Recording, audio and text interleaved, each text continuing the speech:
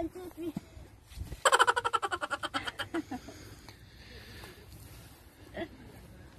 Ayan guys, oh, ang dami. Kuha na.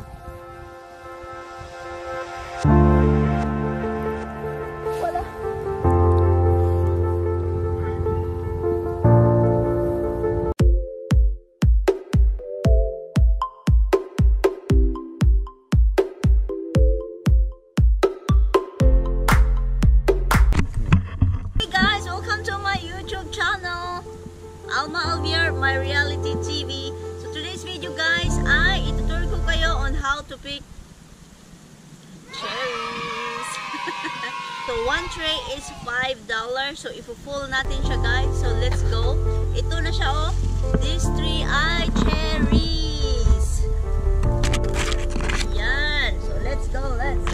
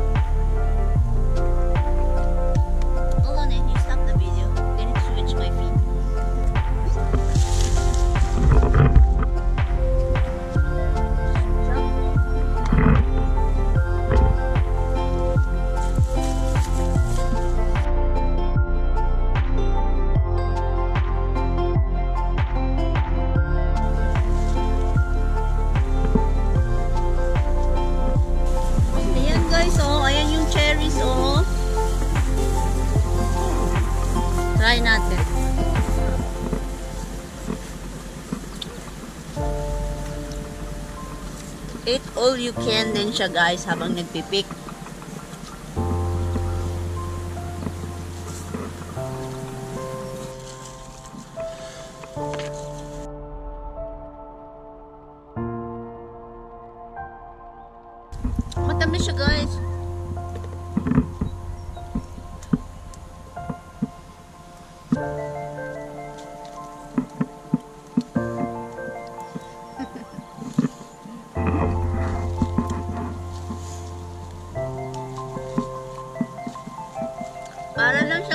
Lumboy guys. Yung duhat sa Pilipinas, sa Manila, duhat ang tawag nila. Ang sa Bisaya ay lumboy. So parang lang siyang lumboy guys, no? Pag nagpipik siya, isahin, is- isa-isahin mo lang din siya. Kasi lahat naman ay hinog na. And then, hindi natin ipik yung ano niya. Yung ano niya, called? Stem? Yung stem niya, hindi natin isali.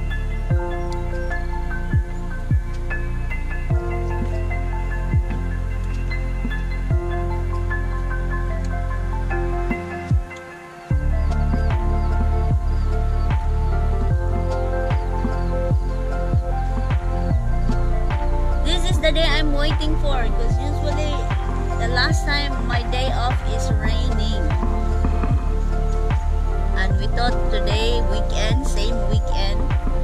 They said it's gonna be like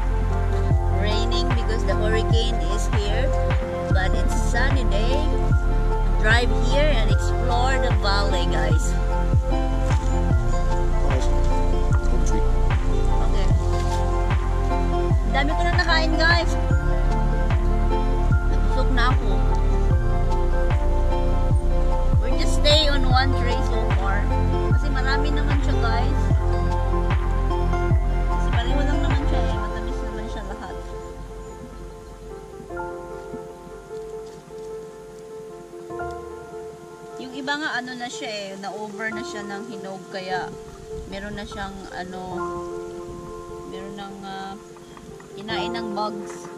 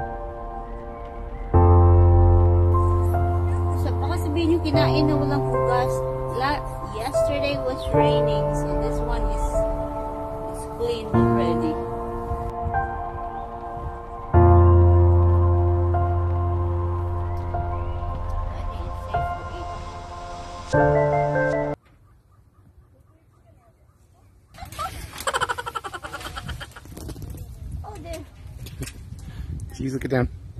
Get down. You lean too far one way, mommy. Huh? Did I lean too far? Yeah, that's good. You got plenty. Okay. So guys, I'm done my cherry picking. So hopefully you like my videos again. So ring all bells so you get notification once I have another video uploaded to my YouTube channel. See you guys. I'm enjoying my cherry.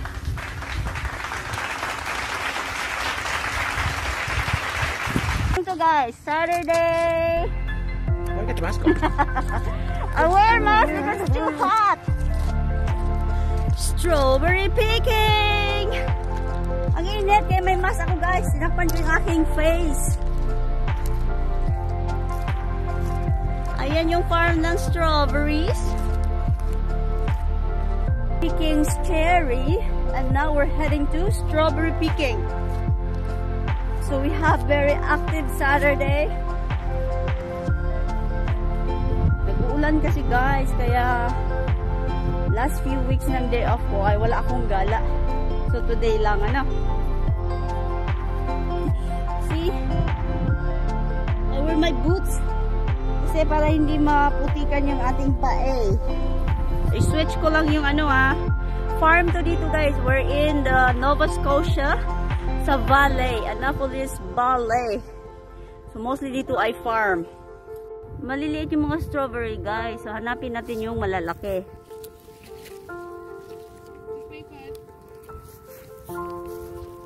Strawberry. Marang pinag-anuhan na siya guys. Napag-iwanan na kami. Yeah, not much now, Nino. Kasi ang liliit na guys. Hindi na kami pumunta sa malaking ano, doon sa ibang farm. Dito lang kami malapit sa my main highway ng Wolfville. I'm not sure if we can get like the one uh, container full. it's okay, nobody's here. Woo! So hot, me! Attack. So small eh. Guys, hindi na kami nag-continue ng strawberry picking because it's already end of the season and uh, very, ano na siya, very small. So tiny, tiny and uh, napakainit mag uh, halungkat ng bushes ng strawberry.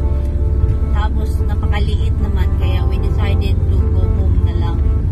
We're heading to our next location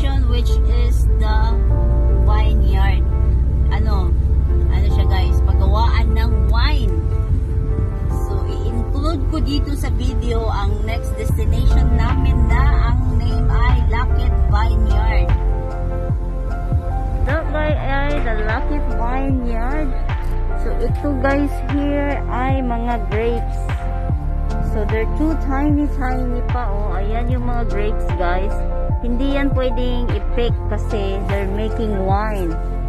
So, yung building na yan dyan ay pagawaan ng wine. At the same time, meron silang uh, a restaurant and then wine testing. Then, pwede kang bumili ng mga wine.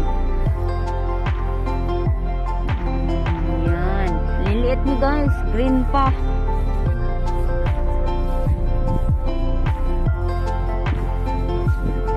Overlooking doon, guys. Guys, oh, yan yung building na yan. Yan siya. Unlocked Vineyard. So, may mga ibang tao kaya kailangan natin mag-must. So, this winery ay malaki, guys. Malaki siya. At saka malinis kasi well maintained. Kasi everyday ay may tao dito. May mga visitor na pumupunta.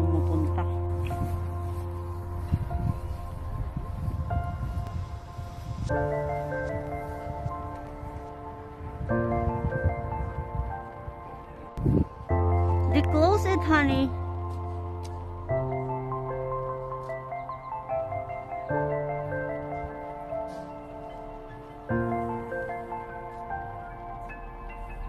This is inside guys. It's like old telephone booth. Pero meron silang ano, nilagyan nila ng ano, bawal na siyang buksan. English style telephone booth. So the different kinds of wine guys.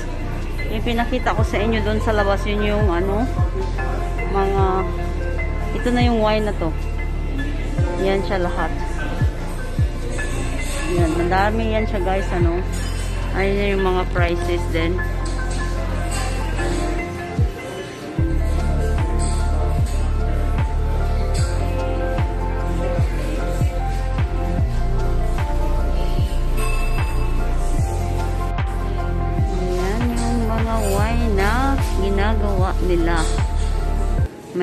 Strong, may light, may very strong. Then yung parang merong sweet lang siya.